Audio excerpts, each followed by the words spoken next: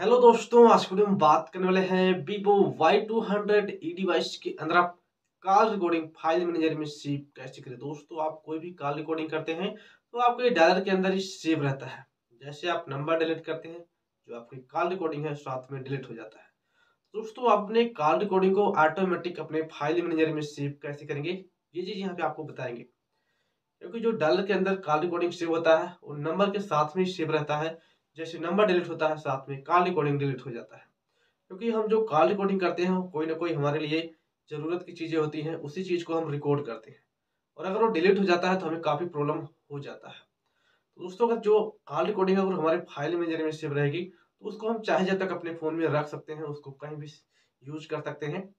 तो अपने call recording को हम अपने फ़ाइल मैनेजर में कैसे सेव करेंगे, ये चीज़ हम आपको बताएँगे। तो चलिए अपनी सेटिंग को ओपन करते हैं और वहाँ से आपको बताते हैं किस तरह से आपको अपने फ़ोन में कॉल रिकॉर्डिंग फ़ाइल मैनेजर में सेव करना है।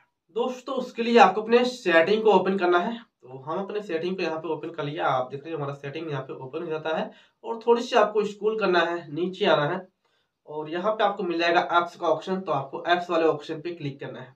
ये वाले ऑप्शन और जैसे आप इस पर क्लिक करेंगे, यहाँ पे आपके फ़ोन में जो यूज़ एप्लीकेशन है और कुछ यहाँ पे सेटिंग आते हैं, यहाँ पे आप देख रहे हैं सारे एप्लीकेशन इस तरह से आ रहे हैं। और इसके बाद नीचे आपको मिलता है enable alternate phone and contact तो आपको इस पर क्लिक करना है, ये वाला ऑप्शन पे। और जैसे आप इस पर क्लिक करेंगे, यहाँ पे आप देखेंगे आपके फ़ोन का जो डायलर होता है वो यहाँ पे आ जाएगा। दोस्तों, यहाँ पे आपको छोटा सा बटन मिलता है, आपको इसको एनेबल कर लेना है, ये वाले बटन को। और इसके बाद यहाँ पे आपको ओके का ऑप्शन आएगा, आपको इसको ओके करना है। और इसके बाद यहाँ पे सेट नाउ कर देना है। जैसे आप सेट नाउ करेंगे, जो आपका डॉलर है वो रिप्लेस हो जाएगा।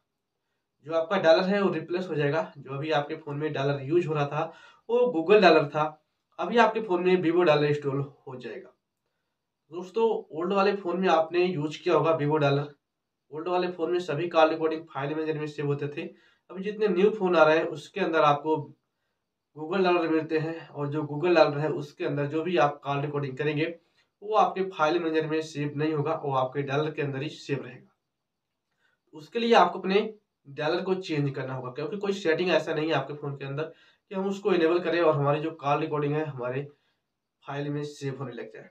तो उसके लिए आपको अपने डायलर को ही चेंज करना है। डायलर भी अच्छा है, जो भी सेटिंग आपको उस पर मिलेगा, सारे सेटिंग आपको उसके अंदर मिल जाएगा। थोड़ा सा आगे पीछे होगा, लेकिन सेटिंग आपको सभी मिल जाएगा।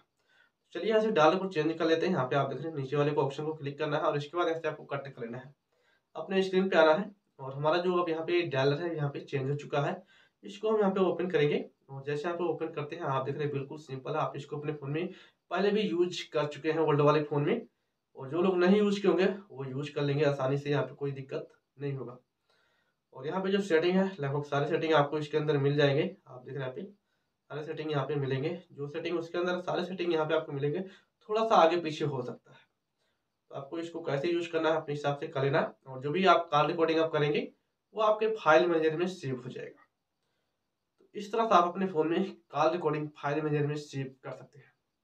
दोस्तों, उम्मीद करता हूँ आपको समझ में आज को किस तरह से आपको अपने फ़ोन में automatic call recording file manager में सेव करना है। दोस्तों अगर वीडियो, चलो वीडियो को लाइक कर लें शेयर कर लें।